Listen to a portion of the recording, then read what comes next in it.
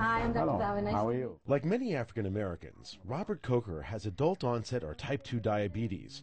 He's known so for at least 10 years now, but he's always felt fine. Diabetes is like a silent killer. You really don't get any symptoms unless your blood sugar is way up or way down. Or when complications set in, like kidney failure or a heart attack. And even heart attacks in diabetics can occur quietly, without any symptoms whatsoever. That's why Robert knows he needs to be vigilant with his medications and diet. If I want to stay around here, I've got to continue to do what I got to do. And one of the most important things diabetics like Robert need to be on is either an ACE inhibitor or an angiotensin receptor blocker. They're closely related in how they work. Well, to be honest with you, I don't know what ACE inhibitor is. So you have to explain that to me.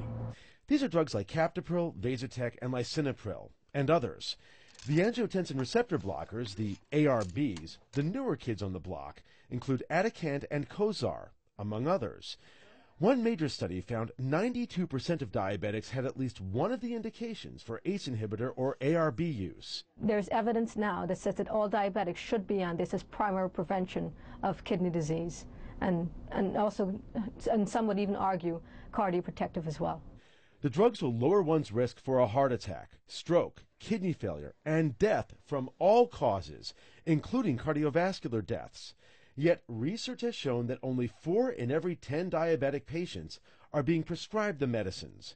Whatever the reason, the failure to prescribe and use ACE inhibitors in particular has created a huge concern among healthcare experts. If diabetics are not aggressive treated, this is one group of patients who we need to be proactive for um, the majority of the time. Proactivity is the best, I think, gets us the best results. If left untreated, their diseases can be fatal or, or certainly severely disabling. Yeah, I think it's very important to, for me to look into ACE inhibitors, and that's what I'm going to do. I'm Dr. Mike Rosen.